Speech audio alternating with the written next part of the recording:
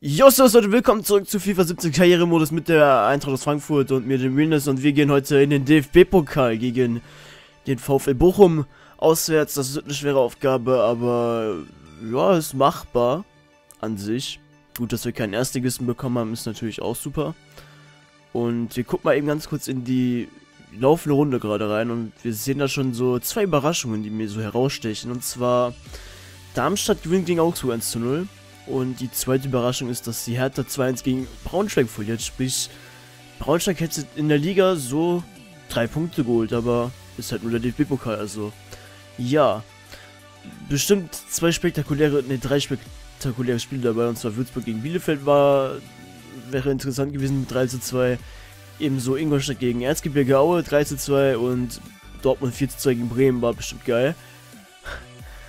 Aber ja, können wir leider nicht sehen und deswegen gehen wir jetzt einfach äh, in äh, unser Spiel rein. Beziehungsweise ich mache jetzt, glaube ich, die, Au ja, ich mache die Ausstellung und äh, werde eben mal ganz kurz, beziehungsweise ich mache nicht die Ausstellung, vielleicht habe ich auch schon umgestellt, nee, habe ich noch nicht. Alles klar, und zwar schreibt mir Axontas Tisnixtas, dass ich äh, mal zwei Ausstellungen ausprobieren soll. Zweimal 4141 ähm, und 451 flach. Wobei mir 4141, äh, ne, hier die Ausstellung auf jeden Fall besser gefällt als die 451 flach. Die ist mir irgendwie so, weiß ich nicht, die, ich, ich finde die irgendwie, keine Ahnung. Ist doch egal, ich probiere auf jeden Fall mal die hier aus. Und werde jetzt die Ausstellung machen für das Spiel gegen Bochum. Also sehen wir uns dann gleich im Spiel wieder. DFB-Pokal Runde Nummer 3 insgesamt, denn äh, nächste Runde ist das Achtelfinale und äh, wir spielen in die VfL Bochum in Bestbesetzung und das hat auch einen Grund, denn äh, wir spielen da genau in einer Woche gegen äh, Olympique Lyon, genau in derselben Ausstellung. Und wenn ich jetzt durchrotieren würde, müsste ich alles wieder komplett ändern. Da wir halt noch am Wochenende gegen Bo äh, nicht gegen Bochum, gegen Wolfsburg spielen.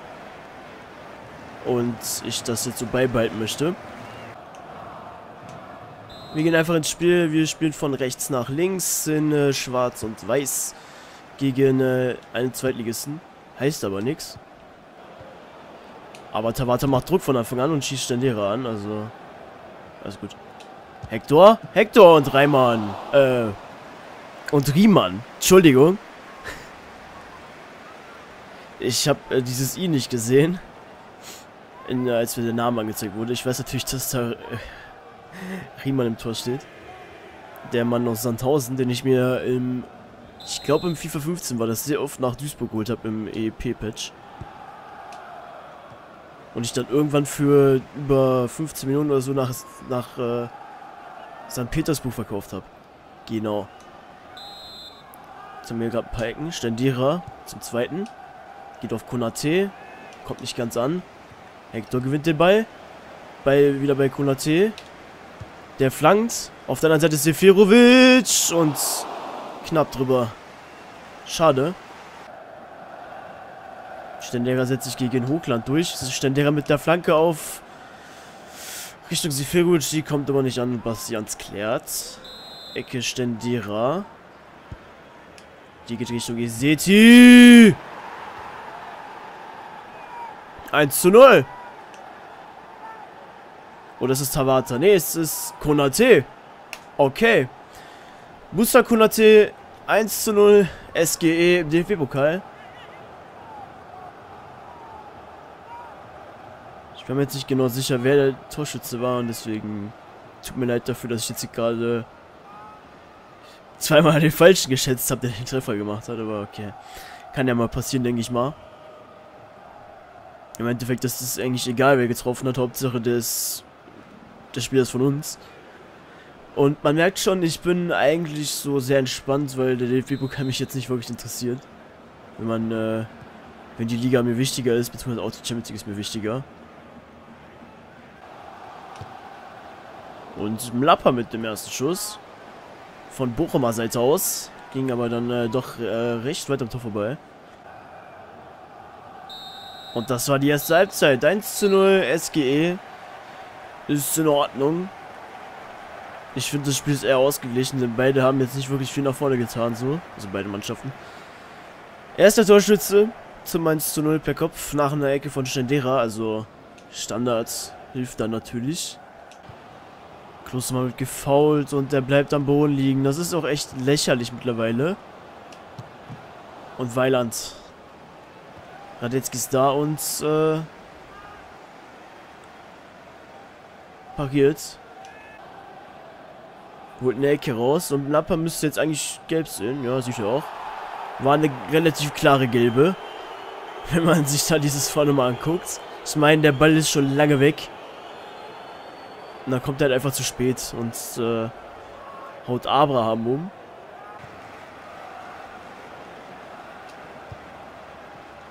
Tavata und in der Mitte Seferovic 2-0.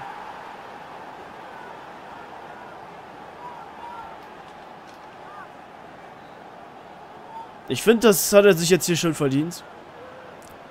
Hat sich ja in den letzten zwei Wochen etwas verbessert, der gute Seferovic. In, in den letzten zwei Wochen mal drei Tore gemacht, immerhin. Doppelpack gegen Gladbach und jetzt gegen Bochum ein Tor. Und da darf auch von, mein, von mir aus mal den Depp raushauen. Also alles gut. 2-0. So muss das laufen. Für uns ist es gut. Bin ja mal gespannt, wie wir in der nächsten Gruppe, äh, nächsten Gruppe, in der nächsten Runde erwarten, falls wir weiterkommen sollten. Äh, wer war das? Jeden Fall Radetzky mit dem, äh, mit der Parade und Pertl war's, der Ex-Duisburger.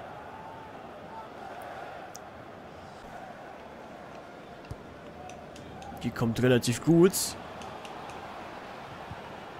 Der Ball springt dann nicht an die Hand. Nochmal Glück. Perzel, Stiepermann. Und Radetzky ist wieder da. Also Bochum wird stärker. Nur wir sind halt die effizientere Mannschaft. Das kennt man ja irgendwoher. Stiepermann, äh, wieder in der Ecke. Wurz, aber die ist ungefährlich für Radetzky. Und da hat sich jemand verletzt. Alter, warum? Das kann doch nicht sein. Und das ist Seferovic. Ne, das ist Stendera. Och Mann, das kann doch nicht sein, dass wir jedes Spiel mindestens einen Verletzten haben. Warum? Warum passiert das mal uns? Egal, ich wechsle mal generell hier ein bisschen aus und nehme mal... Äh, ja, Gacimic passt da schon irgendwie hin. Alter, das ist doch so bitter. Wow. Gray, über die linke Seite. In der Mitte ist... Ha, Fabian, Riemann, oh. Und Konati trifft den Pfosten. Und das war's. Wir sind eine Runde weiter. Gegen den VfL Bochum gewinnen wir mit 2 zu 0. Und das ist äh, verdient, würde ich sagen. Obwohl er ausgeglichen, weil Bochum in der zweiten Halbzeit vor allem mehr Chancen hatte. Wir waren einfach ja, effizienter als die Bochumer, kann man sagen. Wir waren jetzt auch nicht so krass, aber Immerhin haben wir gewonnen. Souverän. Mal gucken, was Stendera so sagt. Stendera fällt für vier Wochen aus. Also das ist schon bitter. Ah, das ist bitter, das ist bitter. Der wird gegen Lyon wird der fehlen, gegen Bayern wird der fehlen. Oh, das ist, das ist böse. Ah, scheiße. Wir kriegen immer ein Preisgeld, 268.000 von äh, dem Sieg her und die Scout-Berichte. Und äh, habe ich noch einen Kommentar bekommen von äh, Lord Tongo HD, der mir schreibt, äh, schick mal einen Jugendscout nach Portugal, das werde ich dann wahrscheinlich auch machen. Nur aktuell ist es halt nicht möglich, wenn ich dann halt noch äh, das Scouting am Laufen habe. Daniel Meyer sieht sehr interessant aus so an sich. Glaube, den ziehe ich mal, den werde ich verpflichten, denke ich mal. Mit 15 Jahren, also ist okay. Der Rest ist nicht wirklich interessant. Dann äh, gehen wir hier hin zum Kroaten. Der hat... Okay, schade. Sah anfangs irgendwie gut aus, der Draskovic, aber den Potenzial der ist einfach schlecht. Uh, er sieht relativ interessant aus. Äh, tragen äh, Tabak. Nur das Problem ist halt seine Gesamtstärke gerade, die ist nicht gerade hoch. Dagegen sieht Jovanovic besser aus. Aber okay, wir gehen einfach weiter, gucken, gucken was der andere Namensfeld davon äh, für Spieler hat. Uh, Michael Graf sieht interessant aus. Und Niklas Kuhn sieht, ja okay, doch nicht. Das sah, ich, ich gucke immer so auf die Gesamtstärke aktuell und da äh, fällt mir immer sofort auf, wer so eine 62 hat. Also so einen Dreh halt. Aber Potenzial ist halt nicht wirklich hoch und deswegen nein. Jonas Meyer sieht interessant aus. Wenn ich ehrlich bin. Also ich denke mal, Michael Graf werde ich mein 62, also 64 bis 80 Potenzial, ist gerade 17. Zwischen äh, 49 und 61. Äh, ich weiß ja nicht, also ganz ehrlich, wenn er wirklich bei, wenn, bei so einer 55 liegt, dann ist das schwach. Ich würde sagen, man kann, äh, wo war er? Wen wollte ich jetzt gerade nochmal nehmen? Michael Graf wollte ich nehmen, ne? Ich weiß ja nicht. Ich denke mal, Christian Meyer ist da... Nein, Mann, das ist so blöd. Ich, ich guck mal nur auf, ich guck mal nur auf die Gesamtstärke. Das ist schlecht. Das soll ich nicht tun. Christoph Engel. 94, 55 bis 39. Das ist nicht gerade viel. Ich glaube, der wird so bei einer 48 sein. Äh, ich habe ehrlich gesagt gerade überhaupt keinen Plan. Ich finde Frank Krause besser. Ich glaube, ich hole mir Frank Krause. Wenn ich ehrlich bin. Und... Äh... Ah, ich weiß wieder, wen ich halt meinte. Ich meinte Jonas Meyer, den werde ich auch holen. Und dann, äh... Warte mal, Rechtsverteidiger. 1,9... Ach nö, wir haben Dietrich 2.0 oder was? 1,90 Rechtsverteidiger. Kennen wir doch irgendwoher. Oder so diese Richtung halt. Ich weiß ja nicht. Also ganz ehrlich, ich glaube, Graf ist raus. Denke ich mal. Rein theoretisch kann wir ihn aber sofort hochholen, wenn er, obwohl, ganz ehrlich, wenn er, der kann halt nicht schlechter als 50 sein. Wisst ihr was, ich nehme ihn trotzdem. Und dann nehme ich noch äh, Tobias Bö. So, das reicht erstmal. Und jetzt gucke ich mal in die in die Jugendmannschaft rein. Und da bin ich ja mal gespannt, was so, was so für Leute da drin sind jetzt. So, Böhm hat eine 50. Okay, Jonas Meyer hat eine 51. Der Frank Krause hat eine 49. Und wie meine ich Graf, 51. Ja, okay, war nah dran. war nah dran, an äh, dem zu sein, was ich nicht mehr gerade wollte. Also schlechter als 50. Ich denke mal, wenn ich, ich glaube, ich werde, ich weiß gerade nicht, was ich machen soll. Ich werde jetzt erstmal den Herbert, äh, Herbert Becker hochbringen, oder? Ja, doch. Komm, freie Vertrag anbieten. Ich meine, Spielerforderung, 0 Jahre, 0 Jahre, aber 500. Läuft bei dir. Äh, machen wir mal einfach mal keine Angabe. Mal gucken, was er sagt. Ich denke mal, das ist okay. Dann äh, würde ich mal behaupten, der Lang, Sascha Lang würde ich glaube ich auch mal hochziehen, oder?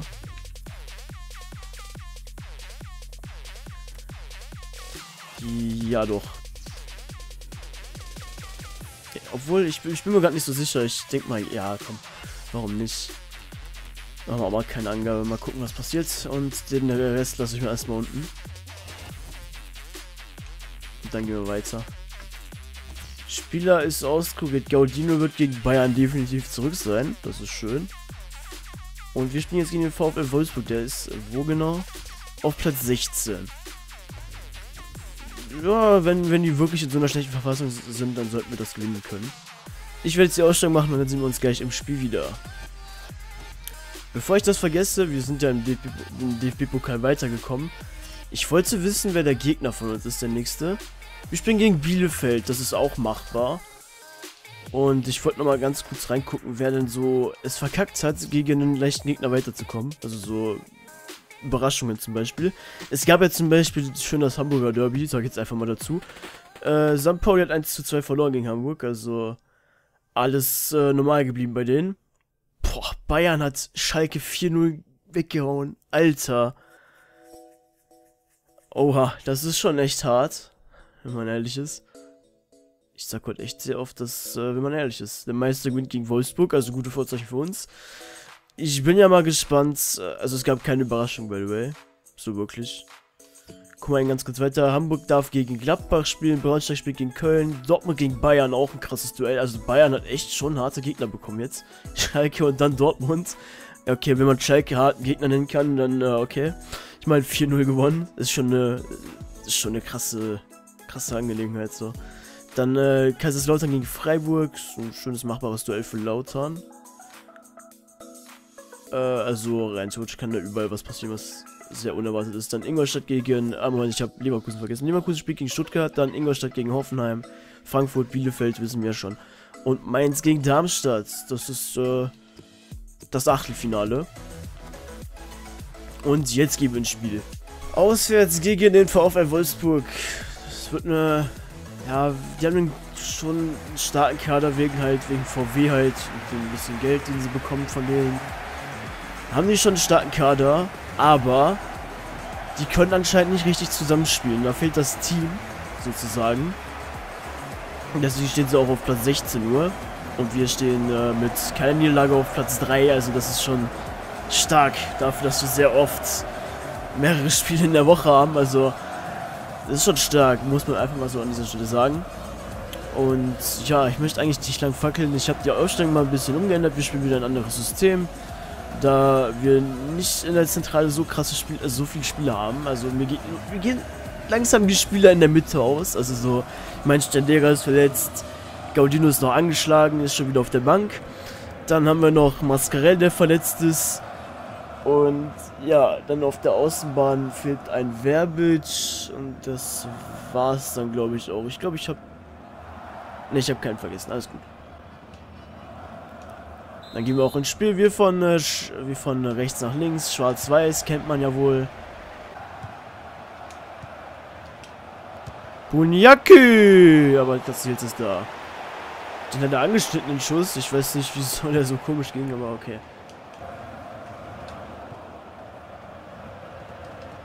So, Gotha, die Flagge kommt gut. Bunyaki! 1 zu 0. Starker Ballgewinn von Gacinovic. Der spielt weiter auf Gotha. Der flankt in die Mitte und dann ist Bunyaki da. Macht sein... Ja, ich weiß jetzt nicht, ob er der Realität schon mal getroffen hat. Für die erste Mannschaft. Jedenfalls für uns macht er sein erstes Saisontor. Oder generell sein erstes Tor. Stark. Hat sich jetzt nicht wirklich angedeutet, dieses 1 zu 0. Aber Bunyaki macht 1 zu 0 für die SGE. Läuft. Bunyaki mit der Flanke auf Fabian. 2-0. The fuck?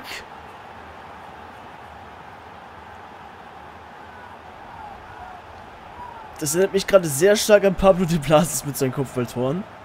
Ich meine, der Mann ist jetzt auch nicht gerade groß. Aber er setzt sich gegen Zukanovic durch, denke ich mal. Und der ist halt schon riesig. Wenn man sich das so anguckt. Und wir haben in dieser Folge nur vier Tore per Kopf gemacht. Und das waren nur vier Tore, die wir geschossen haben. Also, ja, läuft gerade. 2-0 gegen Wolfsburg. Stark. Draxler und aus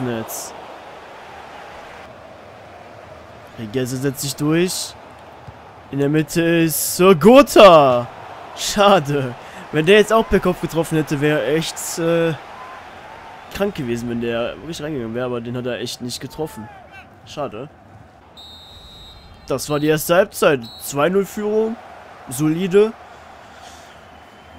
Fabian mit seinem fünften Saisonteil in acht Spielen, das ist also starke Leistung von ihm. Dafür, dass er...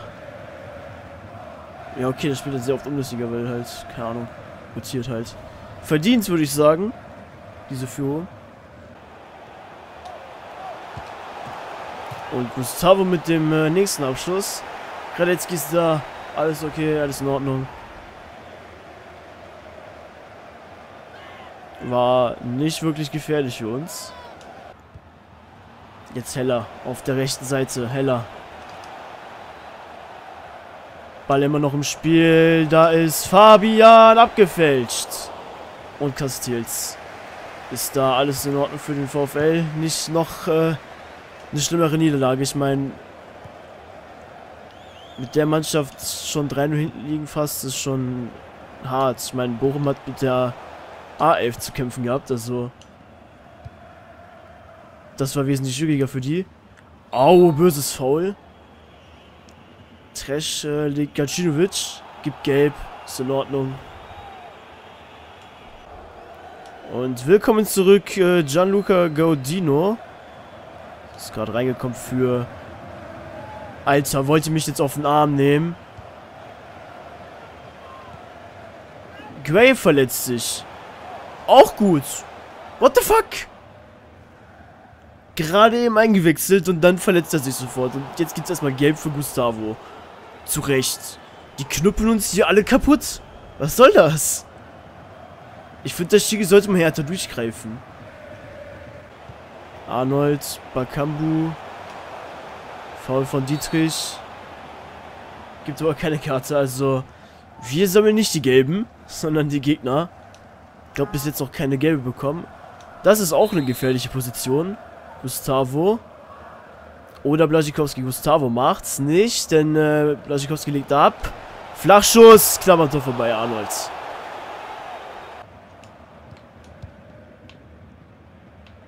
So, jetzt mal. Gray über die rechte Seite. Gray mit der Flanke auf Bunyaki. Doppelpack 3-0.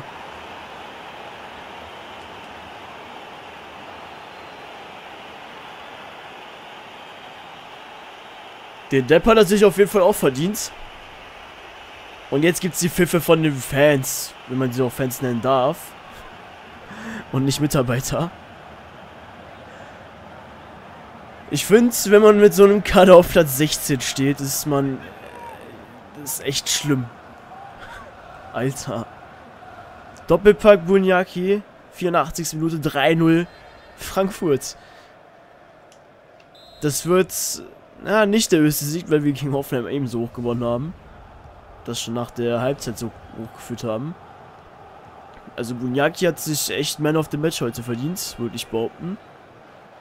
Na, ja, das war's.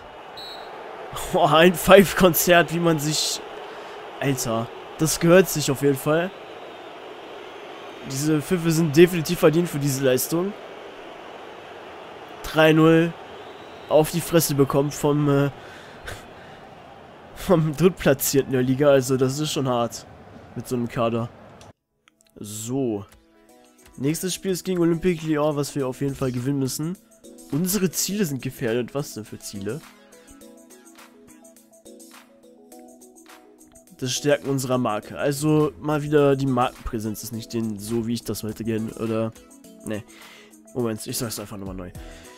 Bei die, die Markenpräsenz ist so das äh, Vorstandsziel und ich denke mal eher weniger daran. Vor allem, was kann ich dafür, wenn ich aus der letzten Saison immer noch dieses verpflichte einen wichtigen Spieler für die Mannschaftsposition Stürmer nicht machen kann, wenn äh, das schon in der ersten Saison der Fall war und ich das nicht gemacht habe. Verstehe ich nicht. Jedenfalls sollten die mich nicht rausschmeißen, weil ich gerade sehr viel für den Verein tue, das richtig ist. Ich meine, wir sind DFB-Pokal weitergekommen. Wir stehen in der Bundesliga-Tabelle wahrscheinlich auf Platz 3. Obwohl ich gesehen habe, dass Dortmund und Bayern, die vor uns stehen, unentschieden gespielt haben. Also es kann durchaus sein, dass wir vor denen sind. Gucken wir doch mal rein. Ich sagte, gucken wir doch mal rein. Und wir sind Erster. Ich sagte es doch gerade. Wir sind Erster, weil Dortmund und Bayern separat 2-2 gespielt haben. Und Braunschweig kassiert die 19. Niederlage in Folge. Wir sind einfach Erster, lol. Läuft. Ich meine, was will der Vorstand jetzt von mir? Ich habe da alles richtig gemacht, finde ich. Äh, wir trainieren genau so weiter, würde ich sagen. Sieht okay aus. Gachimisch wollte ich ja sowieso verbessern, war ja der Vorschlag von euch. Beziehungsweise war einfach, weiß nicht, habe ich einfach so kam Kommentar rein und ich habe den einfach äh, jetzt übernommen, weil ich das gut fand. Und ich Gachimisch sowieso ein bisschen verbessern wollte. So, gehen wir noch weiter. Beide Jugendspieler akzeptieren den Vertrag. Das ist doch genau das, was wir wollten. Ich denke mal, von Michael Graf verabschieden wir uns wieder. 72 Potenzial ist nix. Der Rest bleibt hier, weil der Potenzial alles okay ist. Ich muss hier halt nur trainieren, wenn ich dann mal irgendwie zukomme. Mein Bäcker werde ich jetzt wahrscheinlich nicht mehr trainieren erstmal. Denn äh, er ist ja jetzt in der A-Mannschaft, das passt dann so. Und wir gucken mal eben ganz kurz rein, ob das so richtig ist. Becker ist dabei und Lang ist dabei. Die werde ich dann wahrscheinlich im Winter beide verleihen. Beziehungsweise ich glaube, ich werde Sascha Lang verleihen und äh, den Becker behalte ich einfach. Meine müsste ja hier unten okay sein, ja. Ja, vielleicht verleihe ich ihn auch mal, gucken was passiert. Jedenfalls war es das für diese Folge. Ich hoffe, euch hat sie gefallen. Macht's gut, haut rein und ciao.